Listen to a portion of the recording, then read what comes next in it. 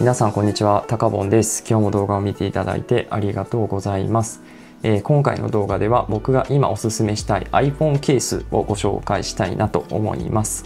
えー僕が今使っている iPhone は iPhone の15 Pro になるんですけども iPhone の15 Pro は発売から数ヶ月経ちまして、まあ、その数ヶ月の間で僕 iPhone ケースいろいろ使ってきました、まあ、ケースメーカーさんから提供していただいたものだったり自分で買ったものだったり、まあ、たくさんのケース使ってきたんですけど、まあ、その中で特に買ってよかったなと使ってよかったなと思った iPhone ケースをこの動画でまとめてご紹介していきたいなと思います。iPhone ケースって本当にたくさん種類があるので人によってどういうケースを選ぶべきかって変わってくると思うんですけどまあこの動画ではどういう人人にはこのケースがおすすめですよみたいな感じでいくつかのパターンに分けて iPhone ケースご紹介していきたいなと思います。今から紹介する iPhone ケースは全部ですね概要欄の方にも URL まとめておきますので気になったものがあった方は概要欄の方からチェックしてみてください。それでは早速始めていきましょう。えっと、まず僕が使っている iPhone について簡単にご説明しておくと僕が使っている iPhone は iPhone15 Pro のカラーはシルバーのものを使ってまして容量は 128GB のものを選んで買って使っていますね。でちなみに画面の方にはアンチグレアの反射がしにくい保護フィルムの方を貼って使っていましてこのカメラの周りのレンズ部分にもレンズの保護フィルムを貼って使っています。で今回紹介するケースに関しては全部ですね背面のマグセーフに対応したケースからご紹介していこうかなと思います。えマグセーフっていうのは iPhone の12以降で搭載された機能となっていて、まあここにマグネットが搭載されていて、まあ充電器が対応していればワイヤレスでピタッとくっつけることで iPhone を充電できたりだとかあとはこういったマグセーフに対応したアクセサリーを背面にこうピタッと吸着することができるといった機能になってますね。まあ、こういったマグセーフに対応したアクセサリーって本当にたくさん出てるので、まあ、せっかくだったらこういった便利なアクセサリー皆さんにも使ってほしいなっていうふうに思いますのでマグセーフに対応したケースからご紹介していこうかなと思います。はい、まず1つ目にご紹介するのがこちらですね。モフトから出ているモバスという新素材を使ったレザーのケースになります。こちらが価格が Amazon の方だと6980円となってますね。こちらが高耐久で汚れに強いモバスっていうレザーが使われたケースになってまして、触り心地は結構スベスベとした質感のケースになってますね。でこちら重さ測っていこうと思うんですけど重さが、えー、と 31g ということで結構軽量なケースになってるっていうところもこのケースのいいところかなと思います。はい装着してみるとこんな感じになってまして側面の方見てもらうと側面電源ボタンのところにはこんな感じで電源ボタンの部分に鉄のプレートがはめ込まれているような形でここの電源ボタンも結構押しやすいですね。で上の方はこんな感じででこっちの音量ボタンとアクションボタンの部分に関してもこのボタンの別パーツが埋め込まれているのでここも結構押しやすいですねそしてぐるっと回って下の方を見ていくとスピーカーの穴とあとはタイプ C の穴ですね。こちらの方の穴が開けられてるって感じですね。このケース6色展開になってるんですけど今お見せしている色はミスティグレーっていう色になってまして、まあ、僕みたいにシルバー系の本体を使われている方にとってはこのミスティグレーっていう色が結構本体との統一感も出ていいんじゃないかなと思いますね。えそして同じく MOFT から出ているようなこういったマグセーフアクセサリーもこんな感じで背面に取り付けることができまして磁力も結構しっかりしたものになってますね。あと同じケースの色違いも持ってるんですけどこちらスモークターコイズっていう淡いグリーン系の色になってましてこれもね結構色可愛いんですよね。あと同じ色のスモークターコイズのこのモフトのスタンドも別売りで売られているのでこれセットで買ってあげてこうやって合わせてた時のすごい統一感とかが可愛くて、まあ、この組み合わせも結構いいなと思いましたね。あとですねこのモフトのケースに関してはこんな感じのパーツが付属でついてきまして、まあ、これをですねこの底の面のところにこんな感じで貼り付けてあげることでこれで何ができるかっていうとこの部分にですね別売りのスリングストラップですね肩掛けの紐をつけれるようになって iPhone も肩掛けすることができるようなケースになっていますねこのモフトのケースは触り心地もすごく良くてグリップ感もいいかなと思いますし、まあ、側面のボタンもちゃんとこの別付けのパーツが付けられていて押しやすいですしあと色合いも可愛くて結構いろんな人におすすめしやすいケースになってるんじゃないかなと思いますというわけで1つ目がモフトのレザーケースでした。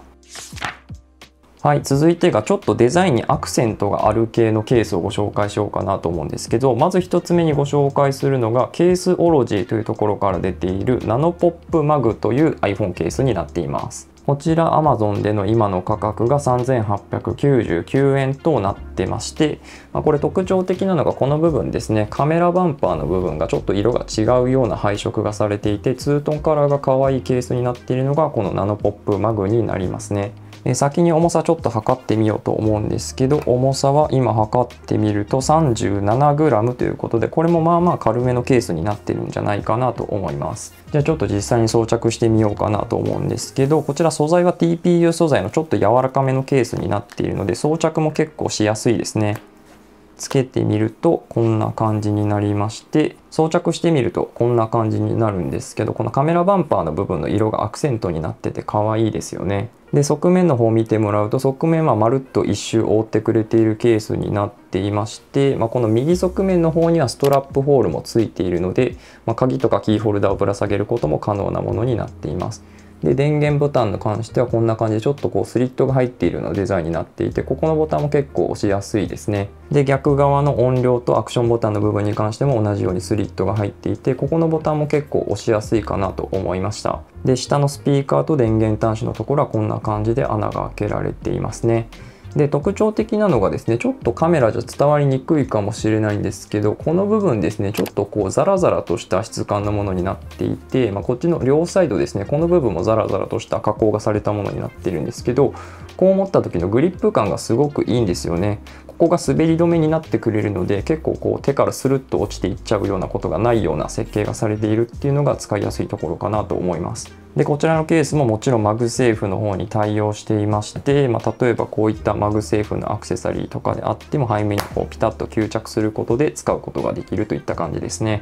えそしてこのナノポップマグなんですけど結構カラー展開も多いものとなっていて、まあ、こちらのこういったグリーンのものとかも今手元にあるんですけど、まあ、このグリーンのものもこのカメラバンパーの部分がちょっとこうツートンカラーになっていたりとか他の配色も可愛いんですよね。TPU のマットな質感になっていて触り心地は結構サラッとしてますかね、まあ、指紋とかもつきにくくていいんじゃないかなと思います。カラー展開5色展開となっているんですけどホワイト系のカラーの展開はなかったみたいなのでホワイト系のケースが欲しいっていう方にとってはちょっと選びにくいケースかなとは思うんですけど、まあ、こういったカメラバンパー部分のデザインのアクセントがちょっと可愛いなと思った方はこのケースぜひ選んでいただきたいなと思いますあとこの側面の滑り止めもグリップ感を上げてくれるのですごくいい感じですね。というわけでデザインにアクセントがあるケースのうちの1つ目がこちらのケースオロジーのナノポップマグでした。はい、そしてもう一つデザインにアクセントがある系のケースとしてご紹介するのが同じくケースオロジーのパララックスマグというケースですね。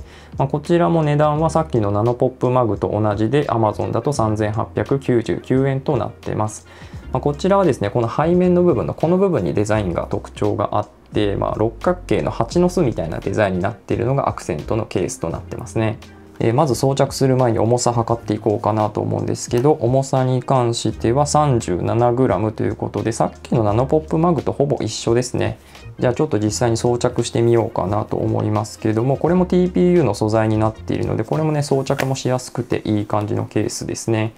でこれ側面の方を見ていただくと、まあ、ここにケースオロジーのロゴがあって、音量ボタンのプラスマイナスここがアクションボタンですけど、まあ、こちらもこんな感じでちょっとスリットが入ったデザインになっていてボタンが押しやすくなっています。で上の方もちゃんと覆ってくれていて側面の電源ボタン部分にもスリットが入っていてここのボタンも結構軽い力でカチカチ押せる感じになってますね。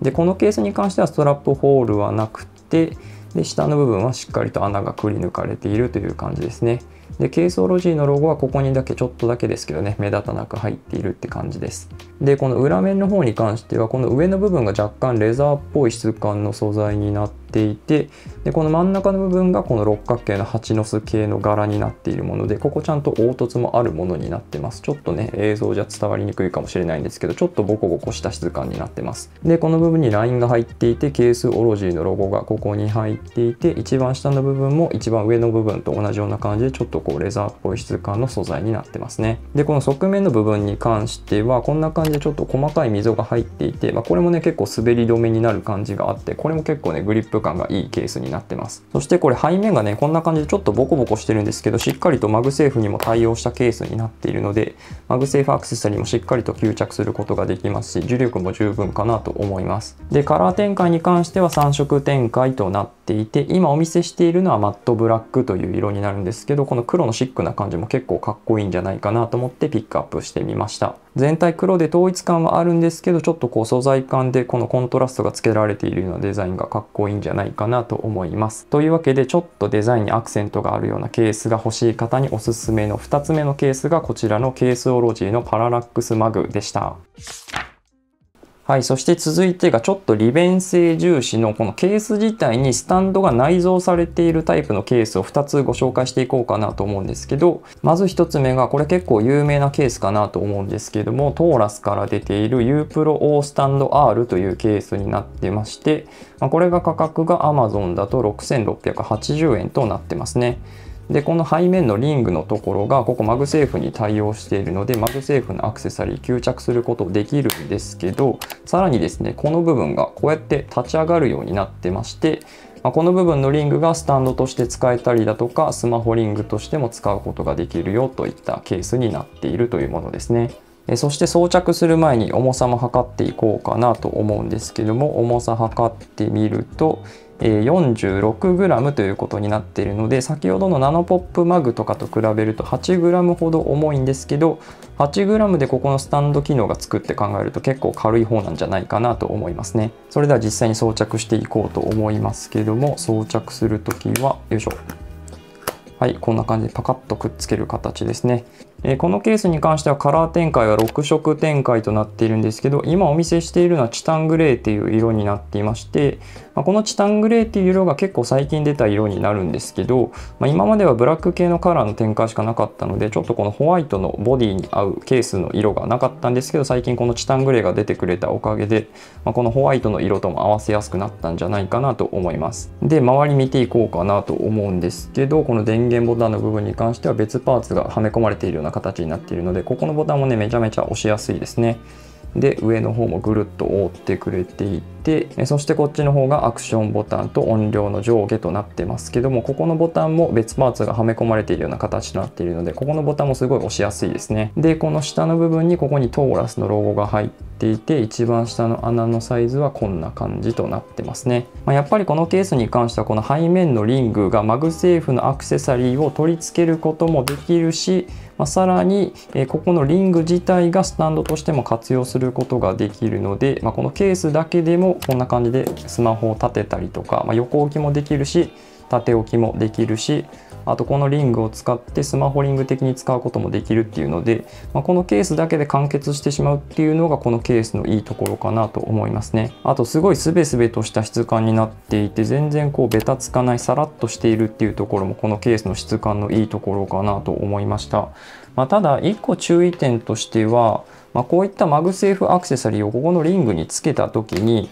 まあ、ここのリングが回転するようになっているのでちょっとこのマグセーフアクセサリーも回転しちゃうんですよね、まあ、別に例えばこの MOFT のスタンドとかだったら別に全然使えないわけではないんですけど、まあ、こういう風にリングっぽく使ってる時とかだと若干ねここの位置がずれちゃったりするので、まあ、他のマグセーフアクセサリーと合わせて使うっていうところを考えると若干の使いにくさは出てくるかなっていうのは注意点かなとは思います。ただこういった貼り付ける系のマグセーフアクセサリーって充電の時に邪魔になるんですよね。マグセーフ充電を使いたいなってなった時はいちいち外さないといけないので、まあ、そういったスタンドを別付けする煩わしさをなくしてくれるっていう点ではこのケース素晴らしいなと思いますね。このケースつけた状態のままマグセーフ充電することができるのでこのケースだけで全てもうスマホリングもスタンドも完結したいっていう方にとってはこのケースはすごくいい選択肢になってくるんじゃないかなと思います、まあ、というわけでスタンド内蔵型のケースの1つ目がトーラスの U Pro O スタンド R でした。はい、そしてスタンド付きのケースですね。もう一つご紹介するのが Caseology から出ている Capella Mag キックスタンドという名前のケースになってます。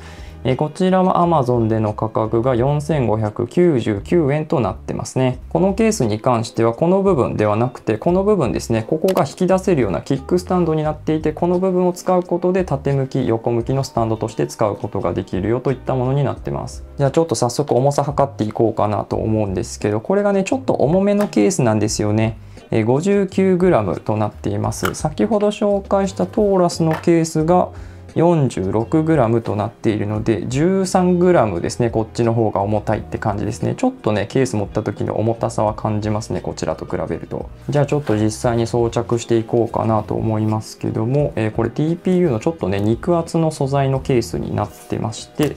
まあ、はめ込む時はこんな感じでグッと押し込むとよいしょ。はいこんな感じで装着することができますね。でこのケースのカラー展開は5色展開となってるんですけども基本的にクリアケースのえここのスタンド部分の色が違うっていう風な感じのカラー展開となっていて僕が今お見せしているのはクリアホワイトっていう色のものになってます、まあ、結構透明度の高いクリアになっているので本体自体のデザインを楽しみたいっていう方にとっても結構いいケースにはなってくるのかなと思いますね、えそしてまた側面見ていこうかなと思うんですけどまずですねこのケースストラップホールがありますので鍵とかキーホルダーを付けられるようなケースになっていますね。でここの部分ですねまた滑り止め加工がされているケースになっていて、まあ、こっち側もね滑り止め加工が同じようにされているので非常にグリップ感があって、まあ、滑りにくいケースになっていますね、えそして電源ボタンの部分もスリット加工がされていてボタンも結構ね軽い力で押せるようなものになっていて、え上の方はしっかりと保護されていてで側面の部分ですね。ここもスリット加工がされていて全部のボタンが押しやすいようになっていてでこの部分にですねケースオロジーのロゴが、えひっそりと書かれているというような感じですね、えそして底面のスピーカーと USB-C の端子の部分もしっかりとくり抜かれているというような形状になっています、まあ、このケースもですね先ほどのトーラスのケースと同じような感じにはなるんですけどスタンドを使うことで、まあ、横向きでも使えるし縦向きでも使えるしあとこれ横向き逆側でも置くことできますね。こんな感じでスタンドすることができてまあ、ここのキックスタンド結構ですね途中でもちゃんとしっかりとした力で止まってくれるので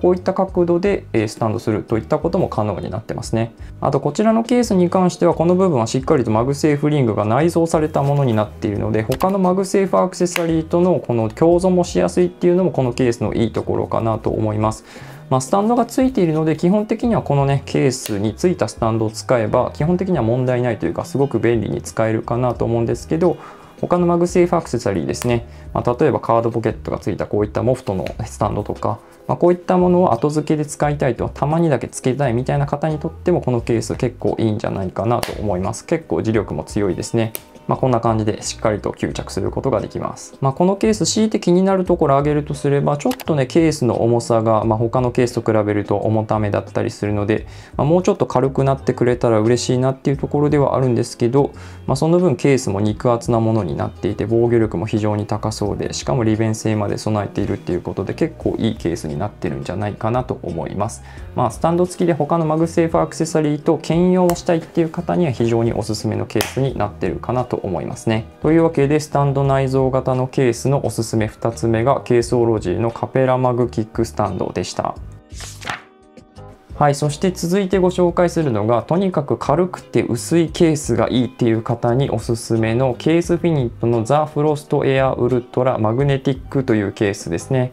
こちらが今6299円で Amazon で売られているケースとなってます。このケースの特徴はケース自体の厚みっていうのが本当に薄くてあとケース自体もすごく軽いものになっているので、まあ、ケースつけてるんですけど iPhone をほぼ裸で使っているような感覚で使えるっていうのがこのケースの特徴となってますね。まあ、今までは MagSafe 対応のモデルなかったんですけど iPhone の15シリーズから MagSafe に対応したモデルも今だったら登場しているというところです。でこのケース薄さが 1.2mm しかないっていうことでかなり薄いものになっていて重さもすごい軽いんですけど、まあ、実測値でいうと 18g ぐらいしかないので、まあ、先ほど紹介していたこういったケースオロジーのケースとかと比べても半分ぐらいの重さになってるって感じですね。じゃあちょっと実際に装着していこうかなと思いますけども装着する時は、えー、こっちの側面のボタンから合わせてあげてよいしょよいしょ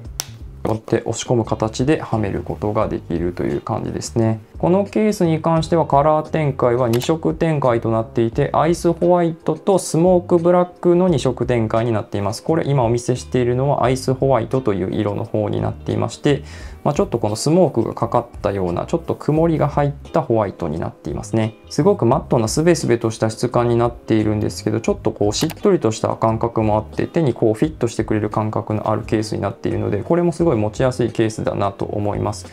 で側面の方を見ていくと、まあ、こんな感じになっていてストラップホールとかはないですねで電源ボタンの部分に関してはこれは別付けのパーツとかではなくて完全にくり抜かれているものになっているので、まあ、若干ねここがねボタンがへこむような形になるのでちょっとボタンが押しにくくなるっていうところが、まあ、このケースフィニットのフロストエアウルトラマグネティックのちょっと弱点にはなってくるところかなとは思いますね。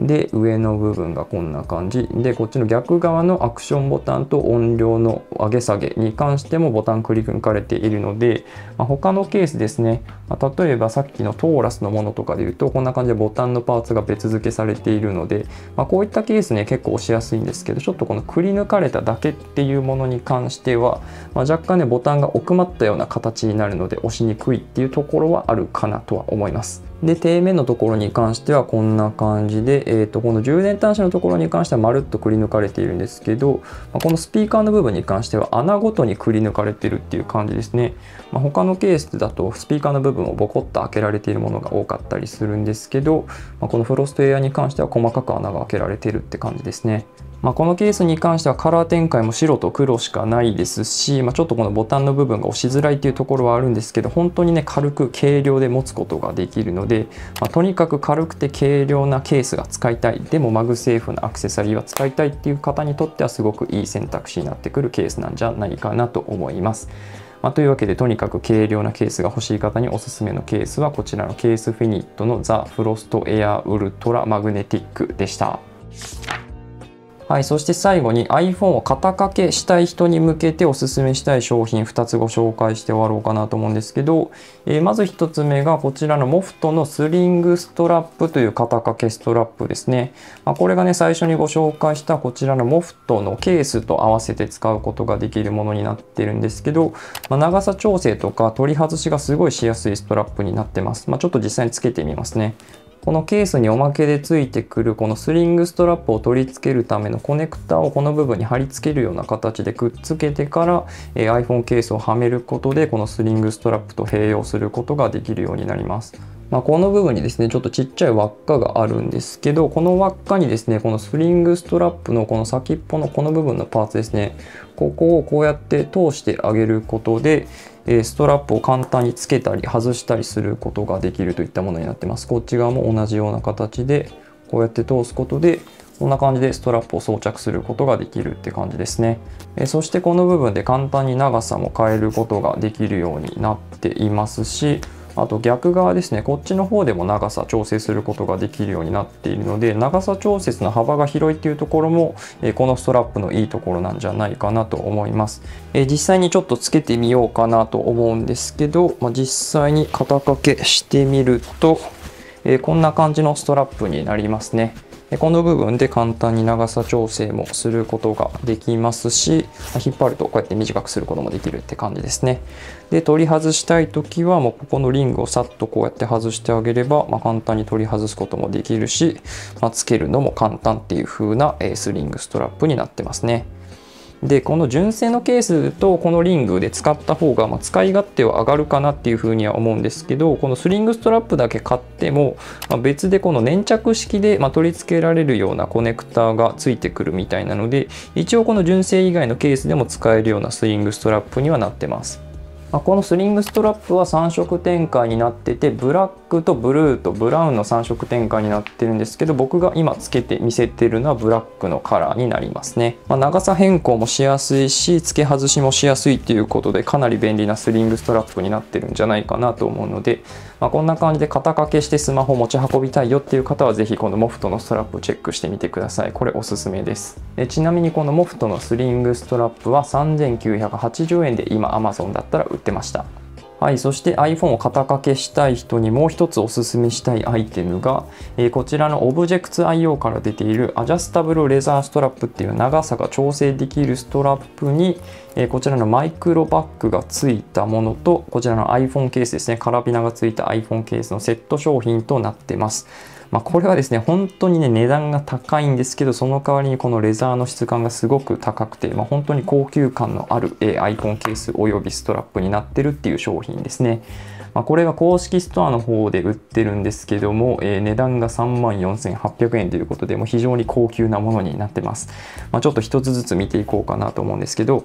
まずケースの方を見ていただくとこんな感じになってましてすごく質感のいい革が使われたケースとなってまして、まあ、この下の部分にはカラビナが最初からこうついているようなデザインのケースになってます。まあ、下の部分もこんな感じで開けられていて、まあ、側面のこのボタンの部分に関してはこの別ボタンが付けられているので、ましっかりとボタンも押しやすいようなものになってますね。でこのカメラバンパーのところに関してもちょっとこう金属製の部品が採用されているみたいで非常に頑丈そうなケースになっています。で背面の部分にはオブジェクツ愛用のロゴが入ってるって感じですね。えちなみに重さも測っておこうと思うんですけどこのカラビナまで含んだ重さで 51g となってますので結構しっかりとしたケースって感じですね。そして装着してみるとこんな感じのデザインとなるんですけどもやっぱりこのグレーっぽい色合いがこのホワイトのボディともすごく相性が良くて、まあ、見た目はねすごくかっこよくなってるんじゃないかなと思います、えー、そしてこっちのですねストラップがついたマイクロバッグの方もご紹介していくとこのマイクロバッグなんですけどもちょっとだけですけど収納スペースがありまして、まあ、例えばこういった BOSE のイヤホンとかをこんな感じでスポッと入れれるくらいのスペースがあるマイクロバッグになっていますね、まあ、こんな感じでイヤホンとかあとは鍵とかを入れて持ち歩くぐらいにちょうどいいサイズ感になってるかなと思いますね。で一応こっち側にはカードポケットもあるのでちょっと非常用のお札とかあとはクレジットカードとかも入れておくことができるようなものになってます。えそしてこの部分見ていただくとここにマグネットが仕込まれていまして、まあ、このマイクロバッグがちゃんとこの MagSafe の磁力に対応していて、まあ、ここにですねマグネットでピタッとくっつくようになってるんですよね。なのでしっかりとこのマイクロバッグと iPhone が固定されたような形で持ち運ぶようなことができるんですけど、まあ、ただこの MagSafe だけで iPhone を固定しておくとさすがに何かに当たってしまった時とかに iPhone がポロンと取れてしまうので、まあ、この iPhone が落ちてしまわないようにこの下のカラビナがついてますこのカラビナをここのストラップの紐をこうやって通してあげることでよいしょまあ、こんな感じでストラップと iPhone ケースをくっつけるっていう感じですね。じゃあちょっと実際につけていこうかなと思うんですけどこれに関してもね長さ調整ができるタイプのベルトになってます、まあ、ちなみに長さ調整ができないタイプのものも一応売ってるみたいです。で実際にかけてみようと思うんですけどよいしょ。かけてみるとえー、こんな感じのデザインになりますね。見た目はねやっぱりかなりおしゃれに見えるんじゃないかなと思います。やっぱりねこの革の質感がすごくいいのでまあ、ちょっといい革を持ってるみたいな感じの見た目になるんじゃないかなと思いますね。えそしてこのマイクロバッグと iPhone なんですけど、まあ、こんな感じで一緒に持ってもいいですしここを外してマイクロバッグだけこう肩にかけた状態にしたまま iPhone だけ、まあ、こんな感じで、ま取り外すっていったこともできるようにはなってますね。あと公式ストアの方を見ていただくと一応こっちのケースだけでの販売もありますしあとはこういったマイクロバッグ以外にもストラップだけのものもあったりだとかあとはカードケースだったりだとか小銭ケースみたいなこのマイクロバッグの別バージョンみたいなものも売られているので、まあ、気になった方は概要欄の URL から公式ストアをチェックしていただければなと思います。まあ、気になるところとしては、まあ、公式ストアでしか買えないっていうところと、まあ、シンプルに価格が高いっていうところが、まあ、気になるところではあるかなと思いますかね。個人的にはちょっと近所に手ぶらで散歩しに行こうみたいな時に使ったりしてるんですけど、まあ、とにかく質の高いおしゃれなスマホショルダーを探している方にとってはいい商品になってるんじゃないかなと思います。まあ、値段は高いんですけど気になった方は是非チェックしてみてください。はい。というわけで、今回の動画では僕が実際に iPhone のこの15 Pro で使ってみて良かった iPhone ケースをピックアップしてご紹介させていただきました。えー、紹介した iPhone ケースに関しては全部ですね、概要欄の方に URL まとめておきますので、気になったケースがあった方は概要欄の方からチェックしてみてください。まあ、個人的に一番最近使っているケースは、このケースオロジーのこのキックスタンド付きのケースですね。まあ、このケースねちょっと重たいっていうところが欠点ではあるんですけどこのスタンドがねすごく使い勝手が良くて、まあ、動画見る時とか角度もちょうどいいですし、まあ、縦置きもできるし横置きもできるしっていうことで、ま使い勝手がすごく良くてあとまあ僕の場合はホワイトの、えシルバーの本体を使ってるのでこんな感じでクリアケースを使ってあげると、ま、本体のシルバーというかホワイトのデザインを活かせる感じがするので、ま、僕個人的にはこのケースいいなと思って気に入って使ってますね。まあ、せっかくいろいろ持ってるので COC に合わせて付け外しして使っていこうかなっていうふうに思ってるんですけども、まあ、皆さんも自分の COC に合った iPhone ケースを選んでいただければなと思いますし、まあ、今後も僕は iPhone を使い続けるつもりなのでまた良さげなケースがあったら動画でご紹介したいなと思います。というわけで今回はこんな感じで終わろうかなと思います、えー、高評価とかコメントとか何でもいいのでリアクションもらえると嬉しいです。あと他の SNS もやってます。X とかインスタとか楽天ルームもやってますので、よかったら概要欄の方から覗いてみてください。それではまた次の動画でお会いしましょう。たかぼんでした。またね